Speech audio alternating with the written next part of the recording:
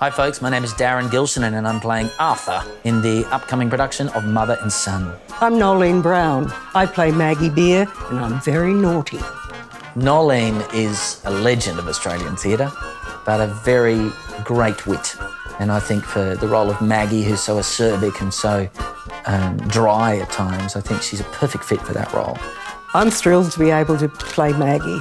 Maggie and I are very, very different people. She's much more confident than I am. I think that's the thing about Maggie is her absolute confidence in everything she does. Um, she's sure that her way is the right way. And uh, Darren, i am such a fan of his.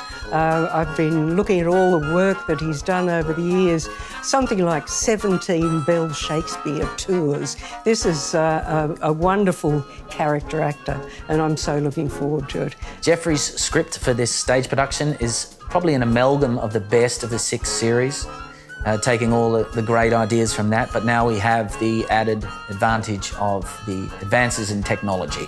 So we have mobile phones, uh, we have alarm systems, and we have Skype, something that baffles anyone over the age of 50.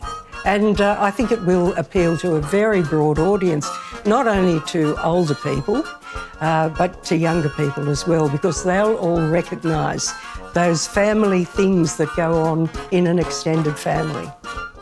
I say, Arthur. Yes, Mother. We're going to Canberra. I know they've got politicians in Canberra, but do they work? Ah, watch out. Will they be able to come and see our show? I'm sure there'll be plenty of people that would love to come and see Mother and Son in Canberra. Very hilarious new Australian play written, written by, by, Geoffrey Atherden. The original writer of Mother and Son. And I love Canberra because I live nearby.